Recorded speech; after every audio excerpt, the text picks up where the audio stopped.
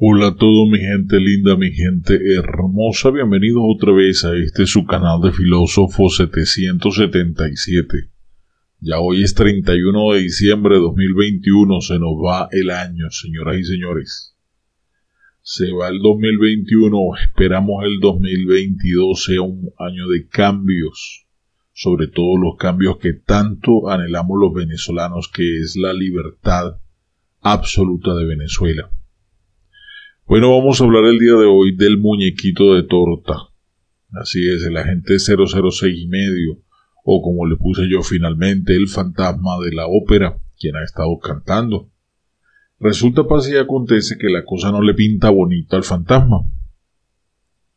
El hecho es que hace cierto tiempo un, señor eh, eh, asambleísta ecuatoriano conocido como Fernando Villavicencio, había comenzado una investigación.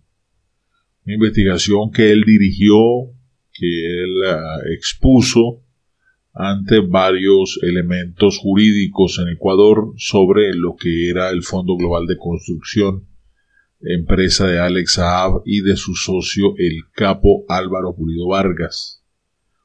Bueno, Ahora resulta que pasaron a la siguiente fase. El día de ayer, 30 de diciembre, el asambleísta ecuatoriano Fernando Villavicencio anunció que la Fiscalía General de Ecuador va a reiniciar la investigación profunda sobre los negocios de Al en ese país. Eso indica, señoras y señores, que vienen ese, esa carpeta esas conclusiones, todo lo que pueda abordar, arrojar esta investigación, podría originar dos cosas. Uno, una solicitud de extradición por parte de Ecuador pidiéndolo a Estados Unidos para sancionarlo allí. O segundo, que este folder sea reunido, sea aceptado por el Tribunal de Miami para añadirle a los cargos que tiene Alex Saab. Esa es la, vertiente que podría darse. Villavicencio publicó el comunicado enviado por la fiscal general Diana Salazar Méndez, en el que notifica el inicio de una indagación previa por el presunto delito de peculado. El proceso comienza gracias a un informe, a un informe de la Comisión de Fiscalización del Parlamento ecuatoriano, de la cual forma parte Villavicencio. El 14 de diciembre esa comisión le escribió a la Fiscalía General pidiéndole investigar el cometimiento de los presuntos delitos de lavado de activos, enriquecimiento ilícito, defraudación tributaria, tráfico de influencias, delincuencia organizada, enriquecimiento privado no justificado, entre otros. Todo esto relacionado con las operaciones del cuestionado mecanismo Sucre entre Ecuador y Venezuela, en particular con la empresa de Alex Saab denominada Fondo Global de Construcción, eh, Foglocons. Allí pueden observar en el eh, tweet parte del documento.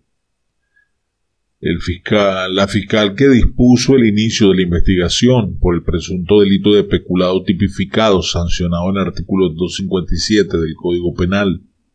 Recientemente el mismo Fernando Villavicencio hizo público un informe del Banco Central de Ecuador que alertaba sobre las operaciones sospechosas usando el mecanismo Sucre en este sistema de comercio exterior, el que estaban adscritos los países de la Alianza Chavista ALBA. Ecuador se sumó en el año 2010. Hay múltiples señalamientos que indican que el Sucre ha servido para ocultar operaciones de lavado de dinero y de otras irregularidades. Y el Cons o el Fondo Global de Construcción de la empresa de Alesa la habría empleado de forma asidua.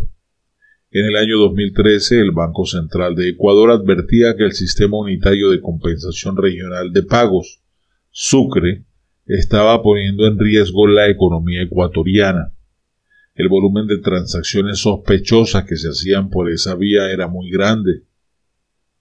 En el informe, un gerente de la máxima entidad financiera ecuatoriana se refirió a los indicios de existencia de operaciones de dudosa procedencia. Ese fenómeno estaba ligado al incremento exponencial de transferencias procedentes de Venezuela. También mencionaba que sobre el incentivo perverso generado por el tipo de cambio oficial del Bolívar fuerte, que de fuerte no tenía nada, frente a las cotizaciones existentes de los mercados de cambio paralelo en ese país. El funcionario recomendaba analizar todas las operaciones porque podría responder a operaciones inusuales, lo que deslegitimaría el Sucre como sistema de comercio exterior. Además, el funcionario finalizaba advirtiendo que estos intercambios sospechosos amenazaban la liquidez total de la economía de Ecuador por la salida de capitales que estas operaciones inusuales implican. Sin embargo, recordemos que el equipo de Correa decidió tapar dicho informe y no permitir que se le diera la importancia necesaria. Así que vamos a ver qué pasa. Yo creo que esto se le puede complicar a Alex y, eso que estaba pensando él de que iba a ser poquitos años, como que no va. Vamos a ver qué pasa. Me despido con la frase del día. No, por favor, no dejes de comentar. ¿Qué piensas tú sobre esto que acabo de compartirte? Este folder o este archivo, la carpeta, podrá afectar y darle más años a Alex Saab en Estados Unidos? ¿O crees tú que será extraditado a Ecuador? ¿Qué me dices? Me gustaría leerte y me despido con la frase del día. Un sabio dijo en una ocasión, no te compares con nadie.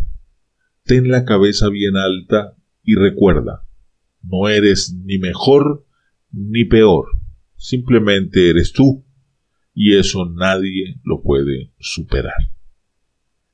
Recuerda quién eres, recuerda dónde estás y recuerda dónde vas.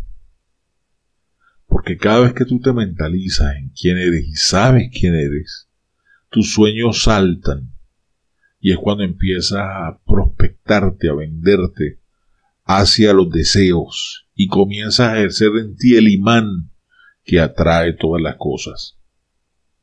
Una persona que hoy se siente bien, exitoso, emprendedor, mañana se siente débil, cabizbajo, fracasado, es una persona que no tiene idea de quién es. Y cuando las personas andan comparándose a otros es porque no tienen absolutamente la menor idea de quiénes son.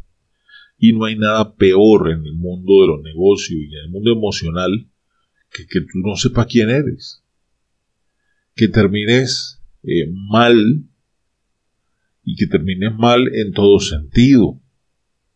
Ahí está el caso de esta mujer que dice que se casó con ella misma en Brasil y esta semana pasada se divorció de ella misma. O sea, ella dice que tiene tanto conflicto que ni ella misma se entiende y por eso decidió divorciarse. Una pregunta, ¿cómo se casa una persona? ¿Cómo me caso yo con, conmigo mismo? ¿Y cómo me divorcio yo de mí mismo? O sea, el mundo está patas arriba, algo está pasando en la gente, algo le está pasando a la gente.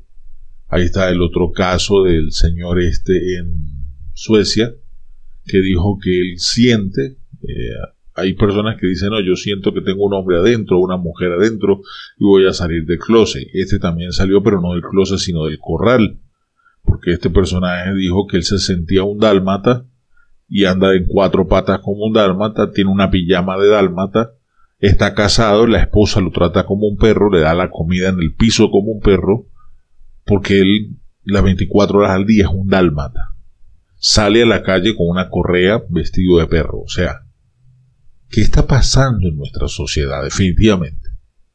Hoy espero que este 2022 el mundo se acople un poco, aunque sabemos que a nivel profético, los que estudiamos las escrituras, sabemos que la apostasía cada vez más va creciendo y que bueno, apostasía para los que no lo saben significa la tergiversación bíblica de lo que es la justicia de Dios, el deseo de Dios y es cambiar lo bueno a lo malo y lo malo a lo bueno. Entonces, así es donde estamos.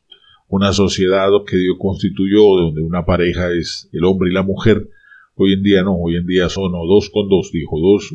Ustedes entienden, no voy a entrar en ese tema que es polémico, porque no me interesa eh, lo polémico. Simplemente eh, digo, el mundo está de cabeza. Imagínense este personaje que se cree que se cree dálmata. ¿Qué opinan ustedes de eso? Me despido, un abrazo rompecostillas. Si no les puedo eh, subir alguna información adicional, les deseo un feliz año 2021 y un comienzo de año nuevo 2022 que sea bendecido, que sea prosperado y que tengan toda la victoria de Jesucristo, Rey y Señor. Dios me lo bendiga.